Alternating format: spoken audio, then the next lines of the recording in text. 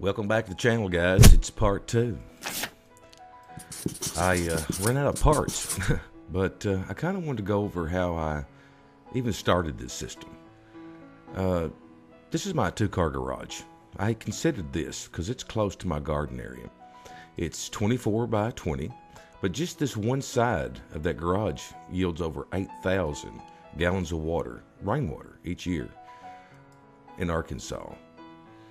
Now, this is a gutter system that I put on the back of my house on my patio area, and just this area alone, 13,684 gallons per year of rainwater.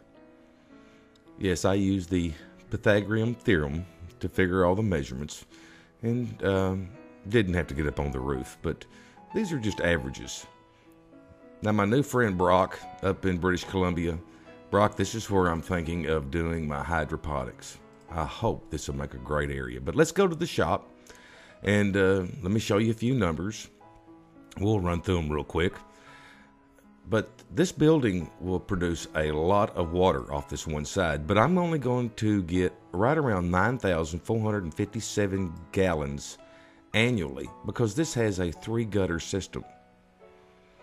Uh, you can't see the third one, it's over behind that little building there, but the area that I'm going to be covering is only one third of the surface area of this one side with this system I'm putting in here. If I can keep these out of the system. But I think I've come up with a really good idea. And it's not my idea. I got them off of YouTube. Got a few trees in the background, so I may have a few small leaves from time to time, but I think I've got it figured out. If the leaves come down through this gutter system, there's a little cover on the top of my first flush that should divert the leaves, and then there's a screen on the inside to keep out the mosquito larvae and any other pieces that are fairly large. Oh, bird droppings. That's probably going to be my biggest culprit here on this building. But this will fill first when the rain initially starts. But let me show you what's in this little contraption that I built. I'll wipe the cap off here. If you'll see, there's a 3 16 hole in that cap. That's going to allow the water to drain out after the rain stops. Now, this is another gizmo that I've made to help keep debris uh, trapped at the bottom and then also mosquitoes out. But look inside, there's a rubber ball. Now, this ball is the secret to the system. When that water starts coming off that roof, that ball will start floating up inside that tube and will stop at this point and stop up the tube and that should make all the clean water, or the cleaner water, divert over into my first barrel. Now, my first barrel is 55 gallons, and it's not going to be tied in to the manifold system on the other four barrels.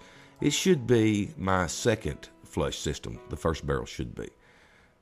As you can see, I'm going to have a manifold similar to this one that's going to run across the front, which is only three quarters of an inch. And this is a two inch pipe coming in. So in the event that it starts filling this first barrel here, diverts over, goes into the second barrel, then the water should start leveling out in all four barrels. But if it's coming off the roof so fast that it can't keep up, I'll have a manifold system and a overflow on the end.